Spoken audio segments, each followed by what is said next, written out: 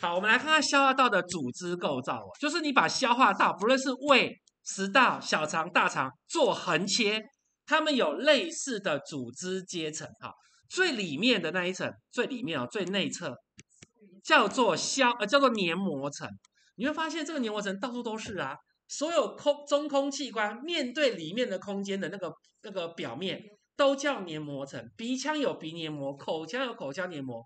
泌尿生殖道里面也是黏膜啊，像你的尿道黏膜啊、阴道黏膜都是黏膜啊，是黏膜什么好了不起的？它就是我们之前在学动物组织的上皮组织嘛，在体表表面的有角质层称为皮肤，在内表面没有角质层的叫黏膜层。是的，这就是我们之前所讲的黏膜层。但我们今天专门只讲消化道的黏膜层。消化道黏膜层呢，里面当然有上皮组织，最外面有上皮组织。那上皮组织的形态呢？看到看你的器官有不同，等下会慢慢讲。然后再往里面走是疏松结缔组织，就是富含胶那个细胞间质的，哦，疏松结缔组织。然后里面呢其实有黏膜基层，这个我很快跟大家讲。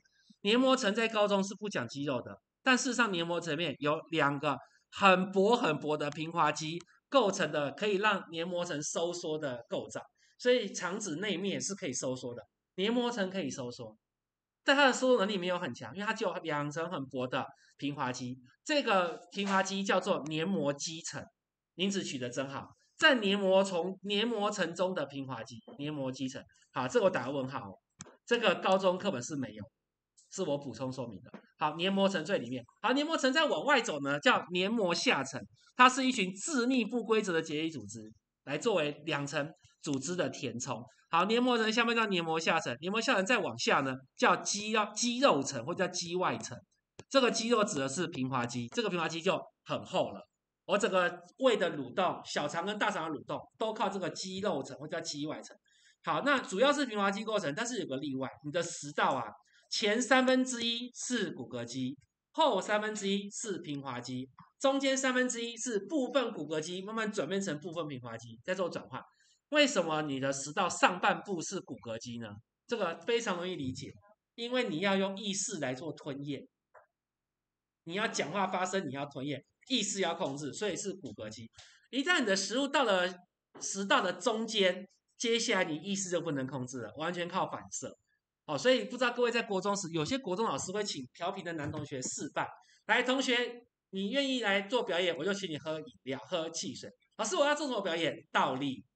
然后汽水给他喝，对，倒立喝汽水，竟然可以喝到胃里面，不会喷出来。他就开始开始讲解啊，同学们为什么呢？因为你的平滑肌会反射性的蠕动收缩，那个过过程叫蠕动，会把食物往上往前推，推到你的胃里。就算你人倒立了，重力方向完全相反，仍然可以把食物，而且是液态的汽水哦，推到胃里面。好，那通常小国中老师会这么做，是因为一定会有国中男生愿意，我打个立就可以有汽水喝，我当然要啊。但其实很危险，不小心呛到怎么办？哦，对，恐怕那些老师就希望那个这些调皮捣蛋的小朋友啊，呛一下让你呢下马威。好了，反正就是跟大家开玩笑。国中会比较有这样的示范，就证明了我们的平滑肌是可以蠕动的。好了，那除了那个前三分之一食道是骨骼肌，后面全是不能意识控制的平滑肌，分为内跟外两层。但我这边又补充了，除了胃，胃有内跟外，还有中间。好。那其中内层呢，叫做环呃叫做环形的肌呃叫做呃叫什么环形走向，就是圈圈叫环肌。那外层是纵肌，是直直走的哈，啥意思啊？如果你的消化道是把它看成一个管子，这个肌肉是环状的，它如果收缩的时候是会变缩小，会让你的这个消化道收呃内口变小。但如果是纵肌呢，收缩时会让你变短。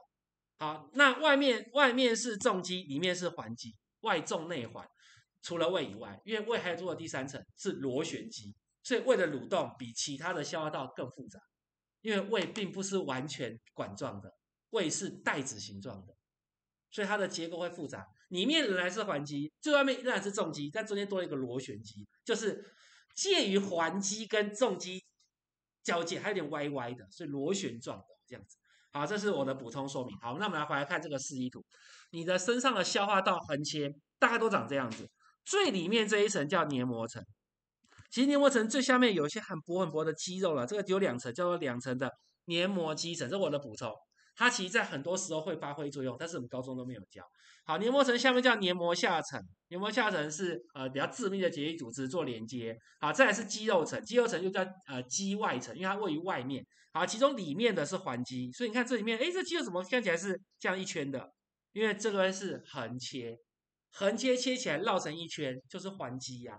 那为什么外面的是看起来一一圈圈一圈的这个样子呢？因为它是纵肌，当你横切的时候，它就看一个圆圈圈嘛。所以重肌在横切时会看到一个圆一个圆一个圆。好，内为横肌，内为环肌，外为重肌。好，最外面的就叫浆膜层，浆膜层也是结缔组织，也是结缔组织。它的功能就是包在你的脏器的最外面，来保护你的脏器。它也是结缔组织哦，丰富的纤维来保护你。好，以上我们就把你的消化道横切后，最里面到最外面，依序分为四层：黏膜层、黏膜下层、肌肉层跟浆膜层。啊，以上这是我们对于消化道从内到外它的各层的介绍。其中我们今天重点会放在黏膜层，因为它里面包含了腺体。腺体在这哦，这是腺体哦，它会分泌物质出来哦。腺体都在黏膜层，所以这四层当中，我们之后还会遇到的是黏膜层跟肌肉层。肌肉层要收缩蠕动，让食物被推进或被搅拌，混合均匀的搅拌，这我们等下都会介绍。好，以上我们对于消化道的组织层次，从内到外分为四层，就简接到这。我们来看几个图啊，这是 stomach 是那个胃，好，最里面这个 mucosa 就是黏膜层，哇，好大的黏膜层哦。好，这个 submucosa 就是黏膜下层，在这里看到 mu 那个 muscle 下面贵的，这就是肌肉层。那为什么我前面的文字叫肌外层呢？因为它的原名就是肌外层，它其实相对于黏膜层下面有黏膜肌层。的外面的大层肌肉，所以它后面有出现这个字 extra，就是外面的意思。所以有些教科书翻译成肌外层，是来自于原文的。好，这是胃的横切。好，那这一样是胃的部分，这边就是那个黏膜层，这是黏膜下层，然后下面就是肌肉了，肌肉在下面。